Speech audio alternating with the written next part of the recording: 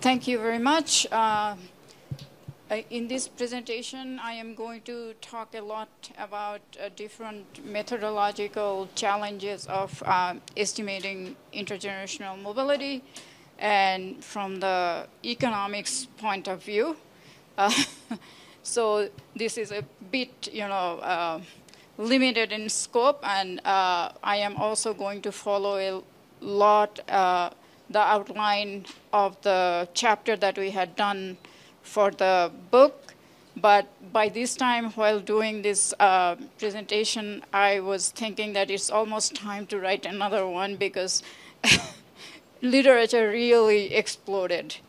So the starting point of the chapter was that uh, if you look at uh, any development textbook, every textbook has a chapter on inequality but very few of those chapters talks about inequality of opportunity or inequality, uh, the intergenerational immobility. Uh, there is not a whole lot of interest in it before, you know, this huge rise in uh, income inequality that we had seen after globalization. And following that, you know, there is quite a bit of explosion of literature on this. I should also mention here that much of the literature actually closely follow the literature that's being developed in, in the context of developing countries. So there are three issues that I am going to focus on. For very first one would be that what would be a good indicator of economic status. Uh, of course, in the context of developed countries, permanent income is considered to be the most informative of all economic status. Uh, Chico in the morning told you why, you know, uh, we can't really go down that road because most surveys in developing countries don't have income data, particularly for parents' generation when parents are mostly employed in agriculture and not, uh, informal sector. And then, you know, there are studies which relies on, you know, one round of survey or so on. These things leads to quite, uh, uh, you know, quite quite a bit of attenuation bias. So it would actually look like income mobility is much better than it actually is. So here are some of the examples that I had put in there. I am just going to hand wave and go to the next. So, it, so in the case of developing countries, we had to come up with some indicators of economic status and what is better than uh, education. That is more or less, you know, widely accepted. Uh, you can also think of uh, parents' occupation. That's another. And in fact, you would see that there are two parallel literature in developing countries, one focusing on education, one focusing on occupation. Here, also the question is that, you know, you would think that both of these indicators are important, as Chico pointed out in the, you know, uh, a keynote in the morning. Then the question is, how do you combine them? There are ways to combine them. For example, DHS does this wealth index. This kind of the problem with this kind of combining is that you can't really interpret the weights I mean, it does not really have economic interpretation. And you can't also link it to some you know, economic theories and makes it difficult to interpret results. Uh, there is also the other approach that uh, Lubotsky and Wittenberg had suggested, and there are a couple of papers on that. I am just going to skip that uh, quickly also, uh, you know, if you want, you can look at the details of that in the chapter. So next, I am coming to the measurement of it. So there are three, four different standard measurements that's being used in economics literature. The very first one is that you regress children's education on parents' education, and the slope coefficient gives you what is known as relative persistence, or it would be like relative immobility. Uh, you can standardize both the children's education and parents' education, run the same regression, you're going to get the Pearson correlation, which is the rho one. Uh, and with the, uh, you know, with the popularity of Raj work, there is also this rank-rank regression, which we, we are just calling it IRC. Basically, you take the rank of children's distribution and rank of parents' distribution, and you just run one regression, uh, which is given there. Now, remember that in developing countries, we are dealing with a very limited data. So what kind of problem you are going to be expecting there? First of all, you know, the measurement error. If there is measurement error, of course, we are going to have attenuation bias, and this is going to look, you know, make things look rosier than actually. And there are some evidence of that in the context of developed countries.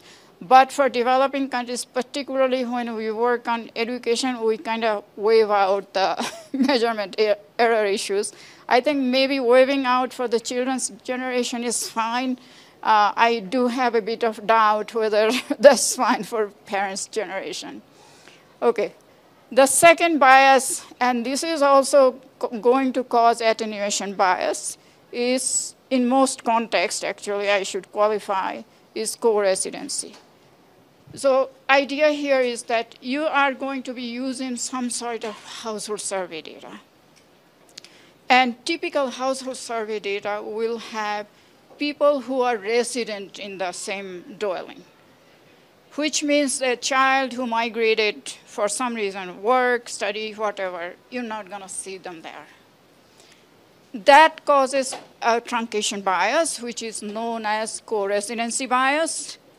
And we had done some work on this, and basically we find that among different uh, different uh, measures, the three measures that I had pointed out, uh, IGRC performs the worst when you're looking at the estimate of the slope coefficient. Okay, the IGC IRC tends to do a bit better job. There are, you know, the opposite uh, evidence, particularly for income. In the case of rural India, here is the paper for that. Now, given this, uh, next question I'm going to ask is that if we see that relative persistent in a country, one country is more than others? can we just say that one country has better opportunity for its children than other? Here I am going to take the example of China and Indonesia. The persistence estimate, that better estimate for China is 0.34, Indonesia is 0.78. From the face of it, it would seem like that children in China are having a lot more uh, mobility.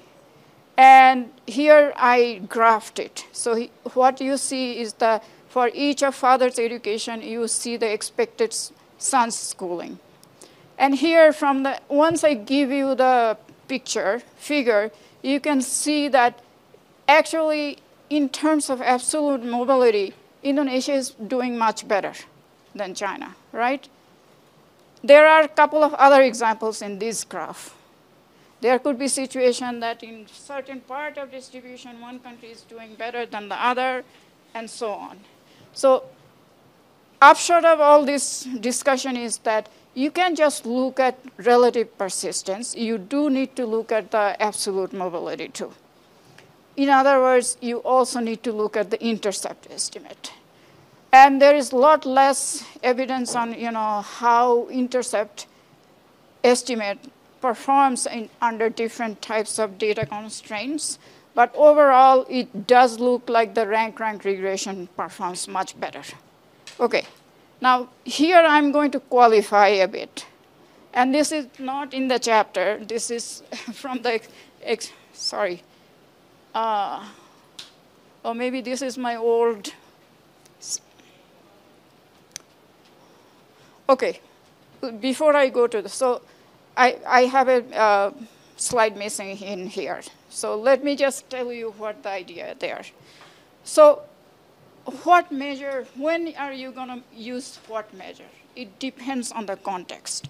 What uh, the rank-rank re regression or IGC re regressions are doing is that it is standardizing the distribution, parents and children's distribution in some way. In case of IGC, you are using normal distribution. In case of, in the case of rank rank, you are using uniform distribution. And advantage of that is that you are actually, you know, uh, kind of wiping out all the shifts in the marginal distribution for this. So if you are interested to know how, what happened over time in a country in terms of persistence, yes, those works better. But if you're looking at government policies, which actually the purpose is, is to move the marginal distribution. Think of improving school access. That's going to imp improve the marginal distribution for the children's generation. For that, you want to stay with the IGRC model. The other advantage of IGRC model is that it is, it can be linked to the economic theory very readily, and you can explore different mechanisms through which uh, policies changes uh, absolute and relative persistence. Now, finally, I know that I'm running out of time. Uh, there is the final concept that I talked a little bit this morning, so maybe I will just skip this and go into the interpretation of the parameters.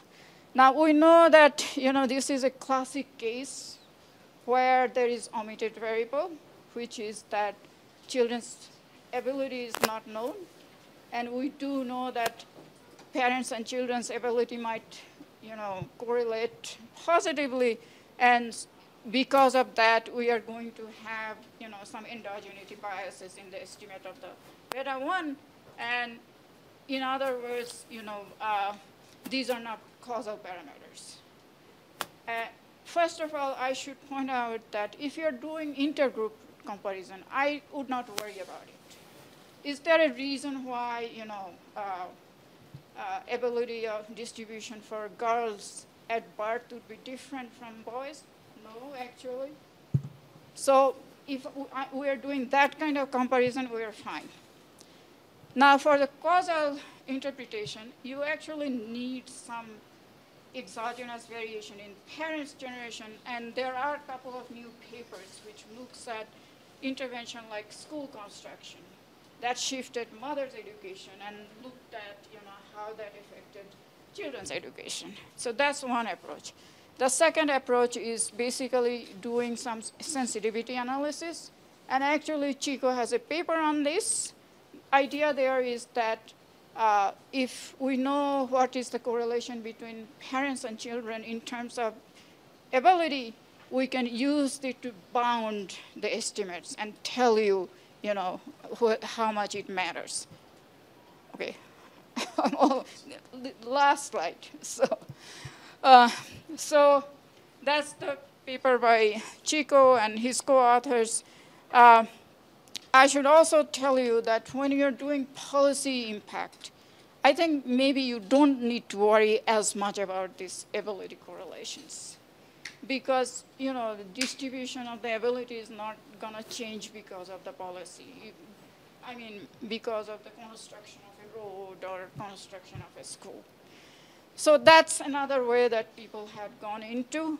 Finally, there is also an emerging literature right now which focus using more of the structural models to give a lot more structure on different mechanisms, and those models also have a lot of degrees of freedom to, in fact, figure out what are these ability parameters are gonna be, and on the basis of that, doing policy simulation. And that is my last point. Thank you.